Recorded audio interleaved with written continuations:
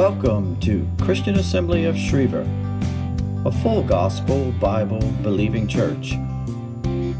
We are people who love God, who worship Him, and praise Him. Please join us now for a great word that the Lord has for us today.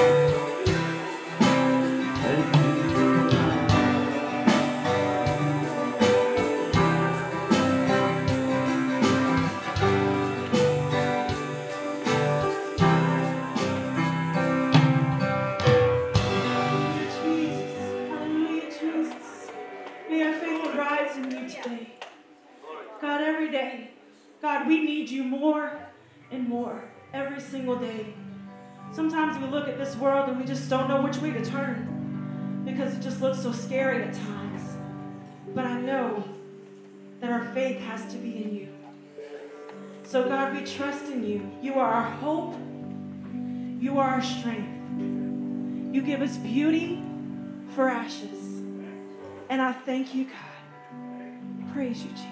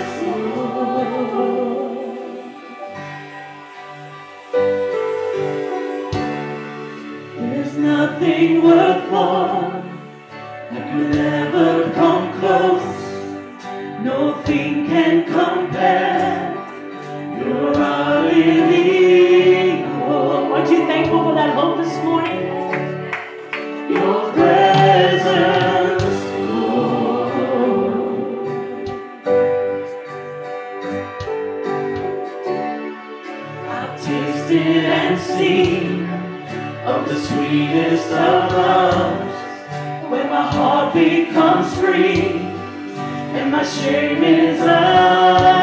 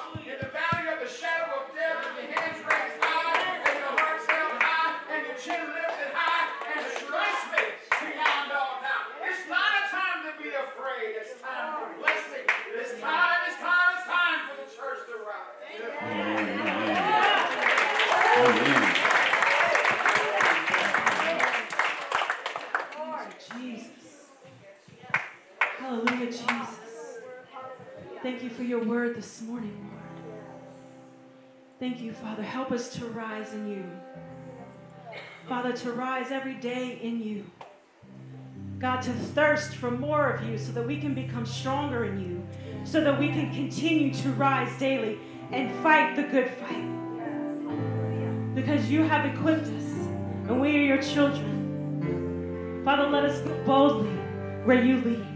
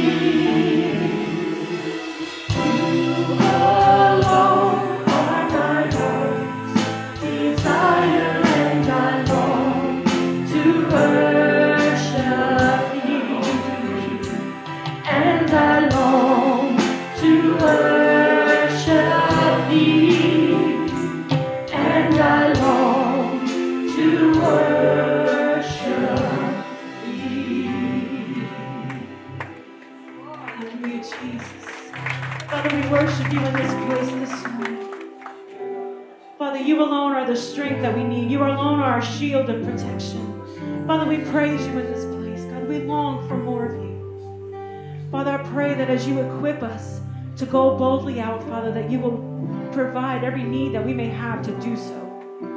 Father, we pray that every sickness, every illness, everything that has tried to come against your children, we come against it in the name of Jesus.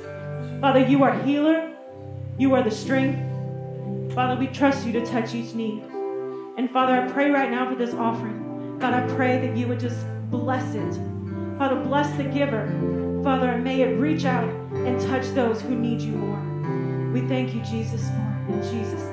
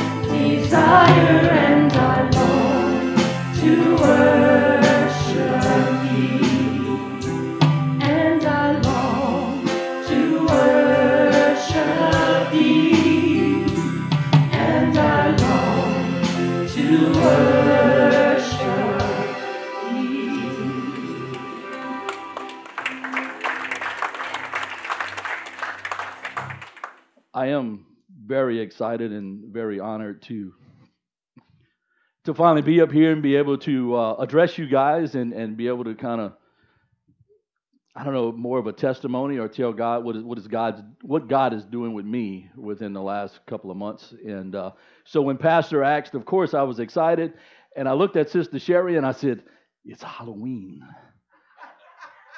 it's Hallelujah night." So she said, What you to talk about? And rather than the brother Ronnie saying is Jesus, I said, I'm to talk about ghost. And she looked at me. I said, The Holy Ghost. you know? And so she looked at me again, and, I, and, and then I got, I kind of got out the box. I'm like, I could put on a costume. and then she gave me that Elvis face, that the lip went up like, What? And so just the other night, I was sitting here and I was talking with Pastor Troy, and Pastor Troy asked me, he, I was telling him the story. He said, So you're going to wear a suit? I gave him the Elvis face. what?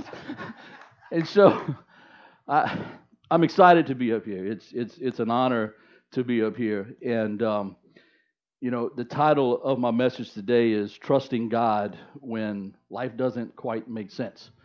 And, and, and so I know a lot of people are going through that right now with the storm, with COVID, and, and just things that are, that are going on in their lives. So, first off, Father God, we come to you today, Lord, and we just ask you again to be inside of this building, Father, and to be with us. Lord, I ask you to, to use me again, Father, as a conduit, Father, just to be able to, to take your word and deliver it where it needs to be. So, Father, again today we thank you and we praise you. In Jesus' name, amen. So, how many of y'all know that lightning, lightning doesn't strike twice in the same place? that was my next question. What happens when it does? What happens when you do have something that happens like that? You know, as many of you know, Sherry uh, lost her dad back in May. We did the funeral services here May 15th, and uh, that was a, a moment for us that um, I know we kind of struggled with because my relationship with him was, yeah, he was my father-in-law. I loved him. I somewhat knew that he loved me, but yeah, and that's kind of how it was. And it was up until the, the, the last moments that we kind of seen how much he cared for us more or less behind the scenes. Like just like we knew that he loved us, but the behind the scenes stuff. And uh, you know, I, I, tell this story all the time, but the one time that I thought the end was near, I helped him to the restroom, brought him back to bed, and called in to work the next morning. And I said, "Look, I'm not going to make it. Father-in-law is not not doing good." So I walk outside to go to his room, and he's sitting there and he says, Hey, good morning, big guy. And I'm like, What did you do with my father in law? Because this is not the same guy. So, you know, but we knew, we knew things. We, we knew that he loved us, but we didn't I don't know. It was just it's kind of different now because we see the things that he's done. We see the things that, that we've been through. And so once he passed, we kind of started, yeah, somewhat cleaning up his room and going through Sister Missy knows, going through some of his stuff. But we pretty much left his shed and, and left his his smoking room alone. We didn't touch it, not because we didn't want to, but we didn't want to. We just we didn't have the need or the want to move anything or to do anything, so we didn't mess with it. And so it, it just it, it kind of became, you know, the, the, the day that he made the decision to go on hospice was a terrible day for us, but he made the decision and he would tell us, you know, I'm my, my body's weak. I, I can't go anymore. I'm tired. And he made those kind of comments. And, and, and so we, you know, we honored that. And so, like I said, we laid him to rest. We, we did the funeral here May 15th. And, and um, so, approximately about three months after that, Hurricane Ida made its presence. And, uh, you know, we, we made comments, or I made comments, about how lucky we were, or how blessed we were to have him to go and be with the Lord before something like this. Because in my mind, I'm thinking, how or what would we have done with him in this time? Where would, where would we have gone? What would we have done? He was pretty much bedridden. And, and, and so your mind starts to, starts to wondering. And, but the Lord took him. And, and you know, it was, it was the, the I, I guess the, I don't know, just the, the, a blessing for him to be able to go and be with the Lord instead of be here suffering through this. So many of y'all know Ida left us houseless. It didn't leave us homeless, it left us houseless. Okay? And and you know, our our home is wherever we live. You know, we we are we truly, I mean, we took that little 35 foot fifth wheel and made something of it, right? It was our home. And uh, so, you know, as we were away, we heard different reports from different neighbors and stuff like that. And and one neighbor called and, and he said, Man, he said, looking at the front of your house, you're missing some some siding, but everything looks good. So we were like, okay. Well, the next morning we were up and we were still in, in Livingston, Texas, about an hour, hour and a half north of Houston, and uh, another neighbor called and says, Well, your awning is gone. So in my mind, I'm thinking, I got this. It's just an awning. Well, then she starts to tell us that the awning, awning took off about three foot of roof, about three quarters of the way down the house. And so then it hit me that father in law's room where he stayed, that awning was the roof. Or as the, as the um, hospice nurse called it, his shed. When, when she called the funeral home to come get him, he said he's outside in the shed. And I'm like, I built this with my own two hands. This ain't no shed, woman. So anyhow, so that portion of it was was gone. Okay, and um, it just kind of hit me a little bit there. My anxiety levels went through the roof. there was no roof there. through the roof. See what I did there? So my anxiety levels went through the roof. It was it, it was it was crazy. You know, uh, I just I was angry because I worked all my life. Not all my life, but most of my life. To, my parents are here, and he's sitting there laughing at me because I said I worked all my life. So, but I worked all my life to, to for us to have what we have, and it, you know, it was it was my double wide trailer with the polyester curtains and the redwood deck. You understand what I'm saying? Sherry was the queen of that double wide trailer with the polyester curtains and the redwood deck. It was ours. It was paid for. It wasn't much, but it was ours. I, I was I was scared. Where's my wife and kids going to live? The two dogs. What are we going to do? We've got Nikki and AJ, the two babies, and, and their two dogs. What are we going to do? This is our place. This is our home. This is where we go day to day for 51 years to that same piece of property every day. What are we going to do? I was scared. I was hurt. Why? Why would God do this? Why would this happen to me? So I was scared. I was hurt. A lot of emotions running. It's the only home my two boys ever knew. A lot of emotions. And you know, sometimes. It's funny how God works, but I would say, you know, if the storm comes, takes the house, we can get us a new one. I was joking. you know, he he literally took that serious, and now the storm come, took the house, and we get a new house. Okay, so God will do things. Okay, and and and so after staying in the camper for roughly three weeks with six adults, two kids, and four dogs it got real. Okay?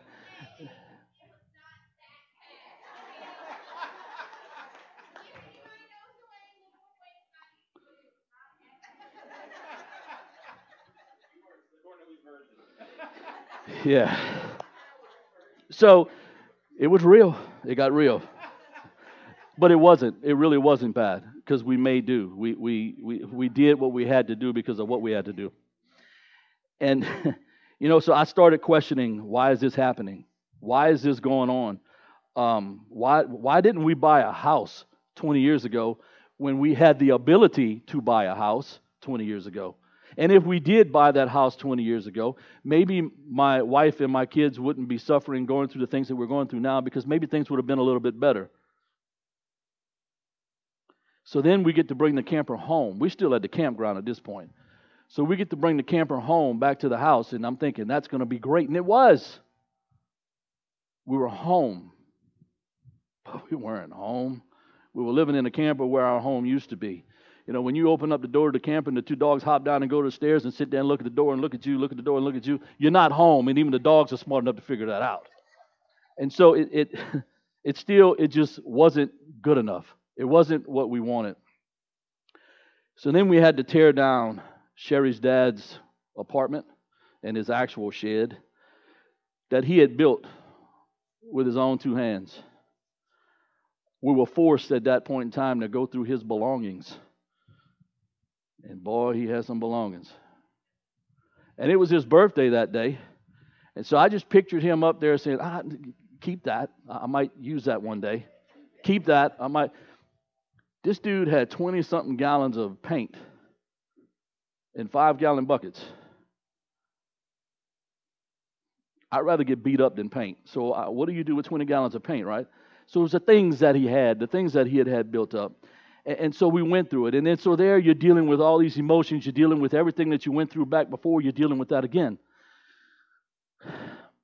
So, what I want to share with you today is what the Lord's trying to teach me about faith. What He's trying to teach me about what's going on right now in my life. So, I've been having a relationship with God now for, I'd say, about 18 years, a, a, really heartfelt relationship. I've always known God all my life, but a real close relationship. And in this relationship, my wife has always told me, you know, there's just things that you have to give to God. Just got to give it to God. And now she's got Nikki on board. Well, Nikki will, oh, you have to give that to God. And it kind of drives me a little bit. It kind of works me a little bit when they say it because I know it's right. But there's sometimes that us as men, we want to fix everything. That's our job to fix stuff. And so I struggle with that sometimes. Because my problem is, is, is I give it to God, but I, I go fishing with God. And I don't mean you. Me and Brother Tommy go fishing all the time. I'm not talking about you. but I go fishing with God. And what I mean by that is 1 Peter 5 and 7 says what? To cast all your cares upon him. Why? Because he cares for you. I got no problem casting, Brother Tommy, but I always tend to reel it back in. Always tend to reel it back in. And then I struggle with it some more, and I may cast again, but I always reel back in. And the problem that we have with that is, is keep on going to, to 1 Peter 5 and 8 says what? Be alert and sober sober minded, for the enemy, the devil, prowls around like a roaring lion looking for someone he can devour. So when you don't dump that stuff off and let God handle it, when you don't allow this stuff to, to go away, the devil's sitting there and he's waiting and he's saying, Why didn't you buy a house 20 years ago? He's saying, If you did, that your family wouldn't be suffering right now. So the devil's getting you. He's, he's playing in that mind. You know, it's, it's when we lack faith or not able to give things to God, he's, he's going to take over. And like I said, 20 years, we surely could have bought a house within that 20 years. So I'm beating myself up. And you know, last week, Pastor brought up something. He talked about surviving and thriving. So you think I wasn't paying attention. But too many times in life, we sit there and we, we, we just survive. And we just we allow that devil to come in. We allow that devil to start talking to us. We allow that devil just to, to beat us up when we're down. Instead of thriving and going out and finding that new house, putting bids on four or five of them, looking at 20, having somebody pay cash and stealing them from underneath you. And you're thinking, I'm going to be stuck in this camper with these four adults and two dogs now forever. it's you, you know what I'm saying? It became it became that. It became very hard to to deal with. So today I want to look at a scripture. One scripture, um, and it, it basically tells us why we should trust God when our life doesn't make sense. Because you see, as as Christians, the only thing that we're called to do besides to be obedient is to please God. And with that being said, the Bible actually tells us a way that we can do just that. The Bible tells us how to do it. And so, which is crazy to think that, that, that even, even we can please an all powerful, all knowing, all loving God, to think that we can please Him. And so, if you got your Bibles, um, go to Hebrews chapter 11, verse 6. And it's a, it's a simple verse, and, but that's where we're gonna that's where we're gonna be. And so it says, Now without faith it is impossible to please God, since the one who draws near to him must believe that he exists and that he rewards those who seek him. And in different different translations it'll say diligently seeks him or earnestly seeks him. It'll it'll it'll throw the different ways out there. So what do we do when our life falls apart? or it makes no sense. What do we do? So here, well, there, it was saying that they got me good. It was saying that without faith, it's impossible to please God. Okay, so now without faith, it's impossible to please God. So this is interesting because somewheres in the Bible it also says that there's nothing impossible for the person who believes. But it's saying that this is impossible. So, it's impossible to please God without faith, and it pleases God with faith. So, one truth today, one thing that you can walk away from here and you're going to know faith pleases God. So, if you're like me, when I'm trying to buy a gift for somebody, or, or I'm trying, to we're going to say Sherry because Sherry's really the only person I buy gifts for. And so um, I'll ask the kids, hey, um, what do you think about this? Or hey, what do y'all think about this? And sometimes they tell me, and I still do what I want to do, but I asked. and, and so one time I bought Sherry some pajamas. Remember that? Guys, don't ever, never, ever, never, ever, never, ever buy your wife clothes if you don't know the size. The pants were too big and the shirt was too small. Do you really think I'm that big? And it's like, whoa, okay. So it causes it causes issues. So you have to ask those questions. All right, and, and it was uh, just don't do it. Clothes are out. Just don't do it. and I just wanted to please her. I wanted to make her happy. I wanted to get her something that she could really enjoy. And you know, the thing behind it is if if that's how we act towards people, why don't we act that way towards God? Do the same thing. Now the Bible tells us that there is a way to please God. Do we do it? You know, it's crazy to think again that we could please God. How many of y'all ever said, "Man, I can't make nobody happy"? I do it all the time when, when me and Sister Sherry, oh, I'm sorry I can't make you happy. And then the claws come out and it just becomes fun. But it's, it's how often do you say that? How can you make everybody happy in this world? No, you can't. You can't do it. And so notice what the Bible is saying, though. It doesn't, well, what it's not saying. It doesn't come out and say that without reading your Bible, it's impossible to please God. It's, it doesn't say that um, without remembering Scripture, it's impossible to please God. It don't say that um, singing worship songs without doing that it's impossible to please God. It doesn't say any of that. God doesn't say any of that. Now those things those things are, actually important and, and they have meaning and they have a purpose, but it doesn't say that.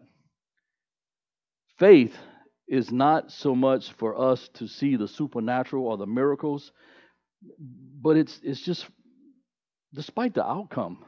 If, even if we're praying and we're praying in faith, despite the outcome that we have, God's got a plan.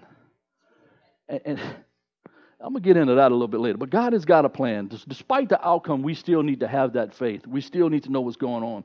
So at any time, a believer is not operating in faith, is displeasing to God. And so Anytime that we do worship songs and we're singing these songs about faith and we don't believe the song, it's not pleasing to God. You can preach the most polished message, the, the best message that you know about faith, but if you don't believe it, it's not pleasing to God.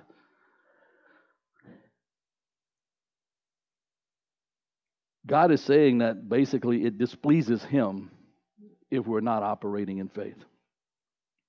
So here's what faith is faith is holding on to a promise of God when life falls apart. Think about that. Holding on to the promise of God when, God, when life falls apart. Faith is having an unwavering belief in God. Faith is, is I'm going to trust God in spite of the difficult things that are happening.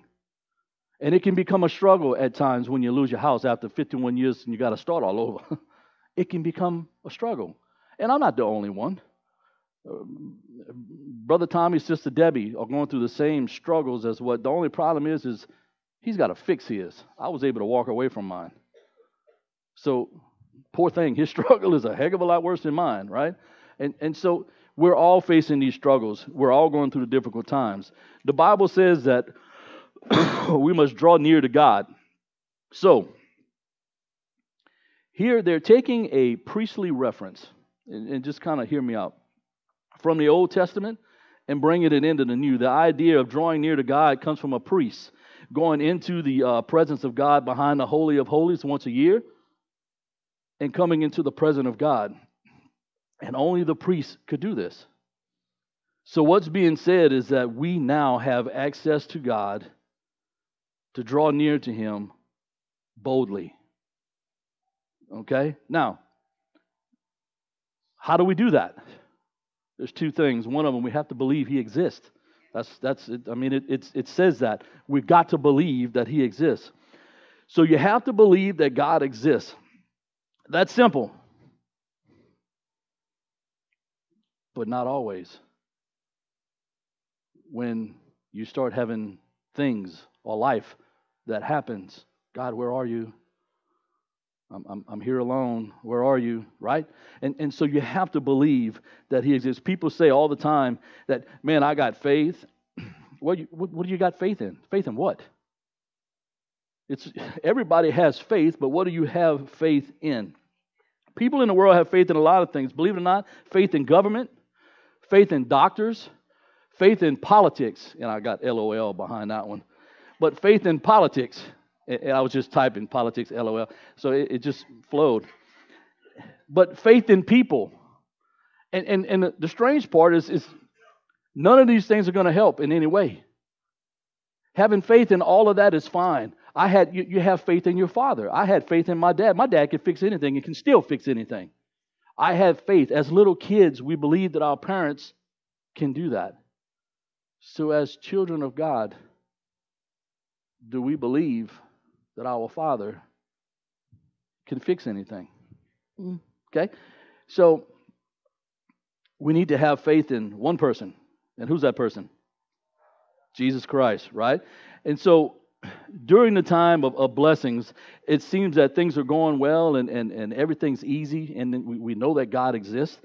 And then when things go wrong, those blessings aren't there anymore. And in that darkest season, we start to, to be tempted and maybe to doubt. When you're diagnosed with a terminal illness and you got six months to live, mm, you start you start thinking, you start wondering, um,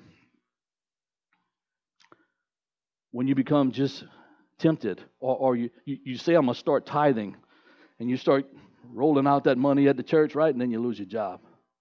It's like, really, God? Are you serious right now, right? And so you start doing things, and then the rug gets pulled from underneath you. The thing that you got to realize, He's there. God's path is just not your path. So the same faith that we have during good times will bring you through the trials. Hebrews 13 and 8 says what? God is the same yesterday, today, tomorrow, right? Okay. So think about this. This is a I want you to think right now, if I ask you to stand up, don't stand up, but if I ask you to stand up and just survey the room and kind of look around and uh, you know, you're going to see me up here, of course. You're going to see the musical equipment. You look to the back, you'll see the sound booth. You see chairs in front of you, you see chairs behind you, people all over the place. And in the moment I tell you, we're going to turn out the lights, I turn out the lights and it's cave dark, like Brother Jameson talked about two weeks ago. Cave dark. Okay, that is, I can't see nothing. Can you have faith that the chair is still behind you? Can you sit down? Would you sit down? Without feeling back, would you? Why? How do you know it's there? When? In the light. So, if you've seen it in the light, let me find it says, So we should never doubt in the darkness what God has revealed to us in the light. So if he's giving you all these good times and everything's going right and you know God exists and God is there and God is great, hallelujah, everything's good. We got a brand new house, y'all. The notice where we wanted it at, it's in a beautiful neighborhood. The people that we're buying it from is awesome. That's great. But it's gonna we we've done signed so many papers and what ifs and this and that's and, and no, we don't want to escrow this, we want to escrow that and this and that. I'm just waiting for something to be pulled from underneath us. And so the second thing is we have to believe that God rewards seekers. Okay? Because because it says and he reward those who seeks him. So the word seek, talk about that. What does that mean? And, and in some cases it says diligently seeks him or earnestly seeks him. So seek. What does that mean? With mama eyes. You understand what I'm getting at? Like when we can't find nothing at the house, Sherry looks with mama eyes, and she always finds it. It was right where she put it. she moved it. so it's diligently seeking Him. Just because you run after God doesn't mean life will turn out like you want it. Okay? So, seeking God, if you're running after God, looking after God, trying to find God, doesn't mean life is going to turn out the way you have it planned. Because you see, God's plan ain't your plan. And there's a reason. So, there was a reason that 20 years ago, I bought a double wide. And I love my house. And I'm not saying that living in a double wide trailer is any worse than living in a house, any better than living in a house. It was a house, it was a home it was the only home that, that, that we knew. And it's gone. But God's got better plans. God's got something else that's coming. And so I wanted to read this, and it's, it's Hebrews 11 32 through 38. Um, it says, In what more shall I say? I do not have time to tell about Gideon, Barak, Samson, Jephthah, and David, Samuel, and the prophets, who through what? Through faith, conquered kingdoms, administered justice, and gained what was promised, who shut the mouths of lions and quenched the fury of flames, and escaped the edge of the sword, whose weakness was turned into strength, and who became powerful in battle and routed, and routed foreign enemies. Women received their dead back and raised to life again. There were others who were tortured, refused to uh, be released, refusing to be released, and that might gain even better resurrection. Some face jeers and flogging. What is jeers and flogging? Come on, y'all. All right, so jeers is um, rude remarks, being talked to rudely. And flogging, I know about, is being hit repeatedly with a stick or a belt. Don't laugh, it ain't funny. My dad. being hit repeatedly with a belt being hit with a stick, okay? I was not abused, just to let y'all know. I was not. I deserved everything I got. They were put to death by stoning. They were sawed in two. They were killed by the sword. They went about in sheepskins and goatskin, persecuted and mistreated. The word was not worthy of them. They wandered in the desert and the mountains, living in caves and holes in the ground. These were all commended. These were all commended for their faith, yet none of them received what the Lord had promised. Since God is, God is planning something better for us, so that only together with us would they be made perfect. So, what is God saying here? When we trust in God and we have faith, sometimes He'll raise the dead. Sometimes He just lets you die. And there's a reason behind it, there's a purpose behind it. There's, there's, you know, we don't always understand, and I, and I say this all the time. Brother Warren Sion, he said, I know God's got a plan. I don't understand it, but I trust Him. And sometimes it's not easy to trust Him. So with with that, what I'm what I'm learning is sometimes that when we pray to God in faith, it doesn't always turn out the way we want it to go. Because it's like I said before, sometimes God's plan ain't your plan. Okay, and there's a purpose behind it. I used we used to tell the kids all the time about blessings. You know, sometimes God will have blessings prepared for you, but you're not prepared for God's blessings. And so, same scenario here. So think about, you know, Pastor brought up last week about Paul. He was given a message from Satan, a thorn in his side. And how many times did he pray to ask for forgiveness? Not once, not twice, but three times. And what did God say? My grace is sufficient for thee. Then what? Because my power is made perfect in your weakness. So sometimes people see us as Christians struggling. And how do you keep going? Sister Donna was, was that in flesh walking on this earth. That woman was diagnosed with a terminal illness and she walked around here with more faith and positive than me. I'm like, how? How is that possible? She had God. She had the faith of God to continue to push along. Now, think about this and draw comfort from this. Jesus didn't get his prayers answered all the time either.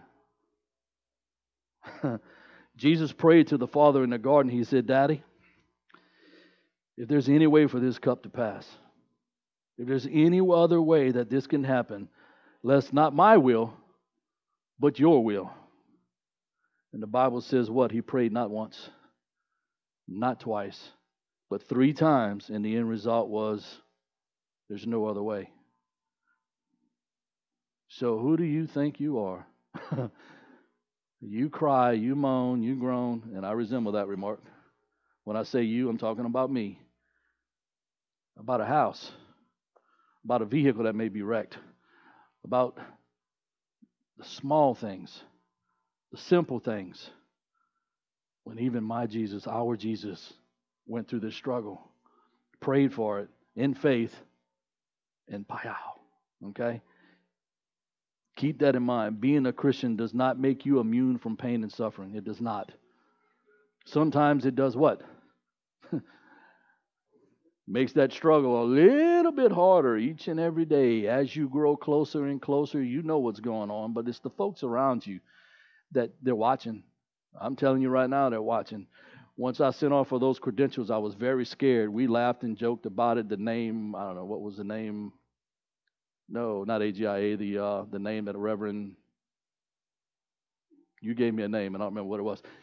But, but it's, it's, it's funny because once people know that you're a pastor, once people know that you have a relationship with God, what happens?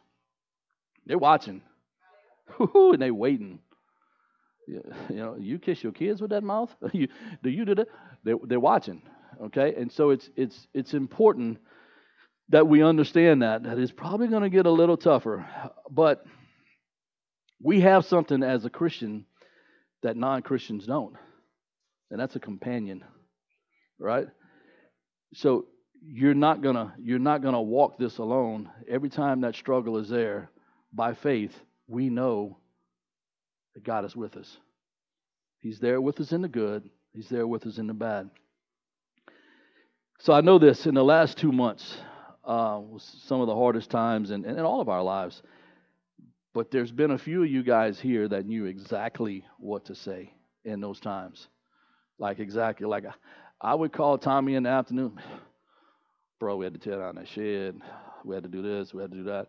And he was like, Yeah, well, I'm working 12 hours and um, I come home after and, and I had, I'm like,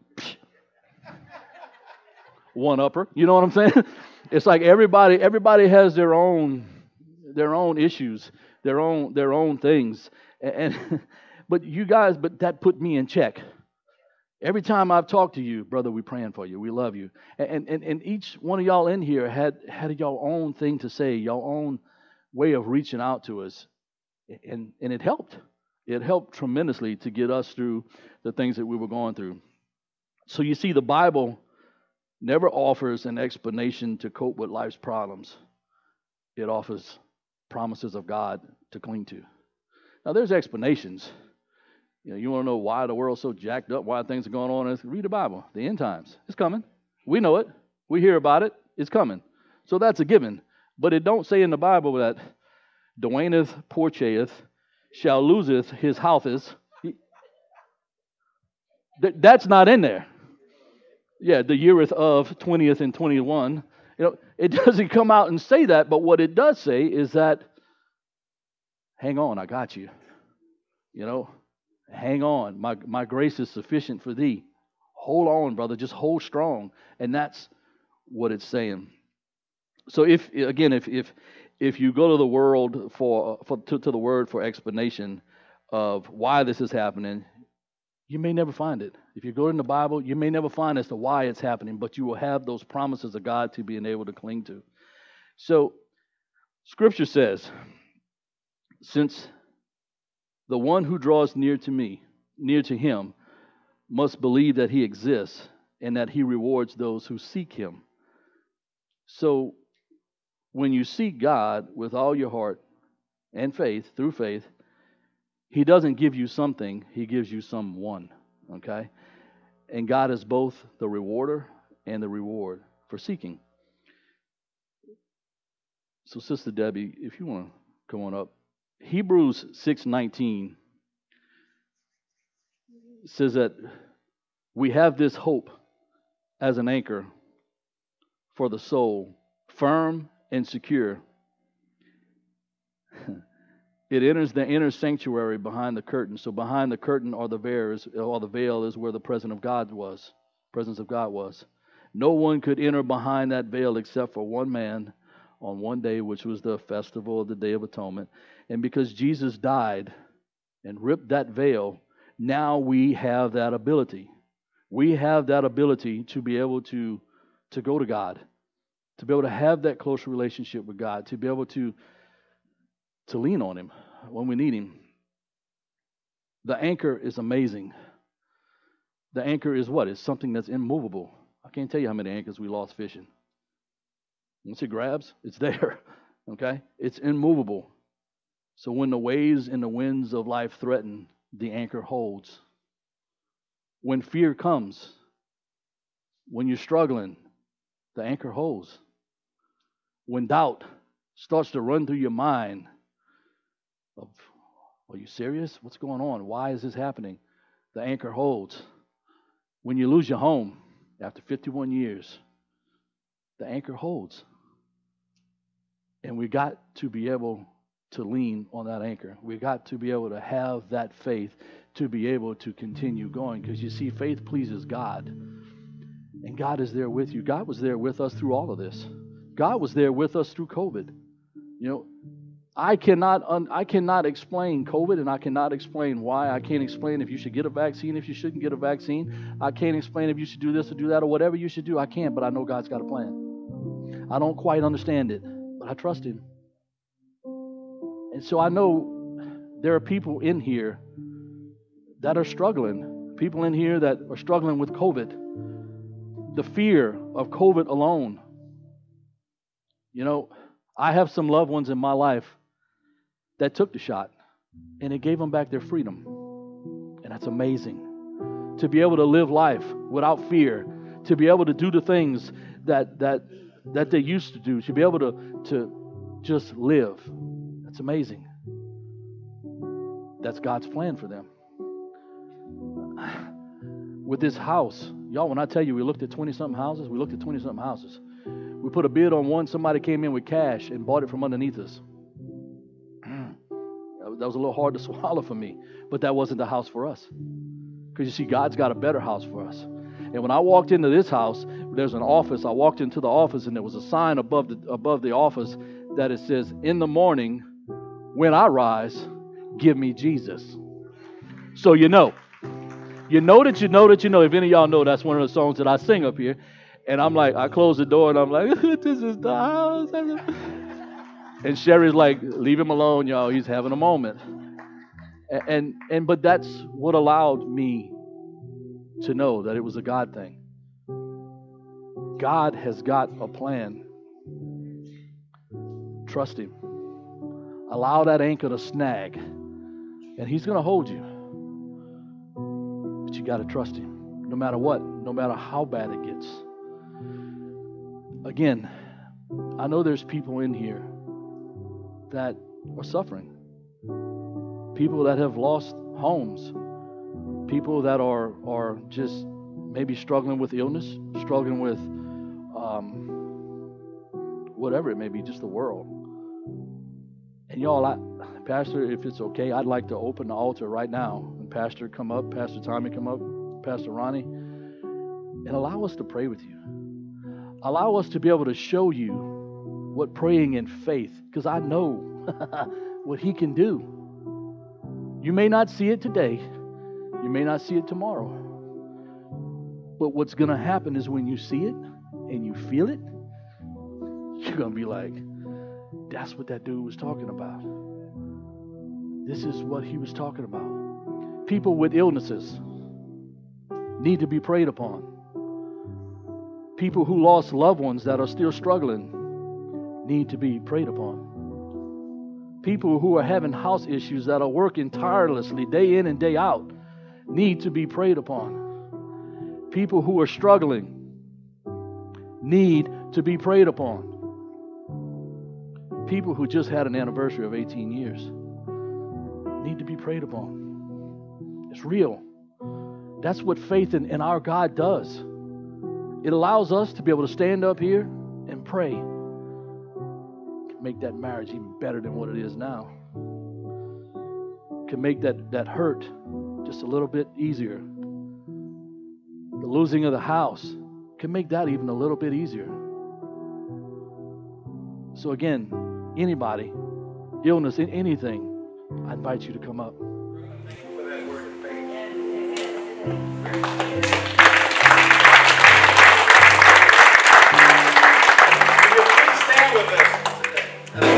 About his business. As he was preaching, you know, I can't help but thinking that you may not have been in your house, but wherever there's Sherry's peanut butter fudge, you are home. Amen.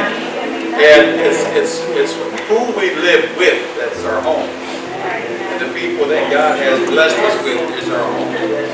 And I was thinking actually on this this morning, and I just I just had a moment last night because I found out that a old class member, classmate of ours passed away. Her name is Mary Barber. Mary, to look at Mary, was someone who smiled all the time and who had joy all the time and who just went through life without a care. She's my age, 57, died of a heart attack just suddenly. And it helped me to remember what's important what's standing right next to you right now. And sitting in that seat over next to you right now. Your house is not important as your mate or your family. Your job is not important as your mate or your family. Remember that before you leave here today.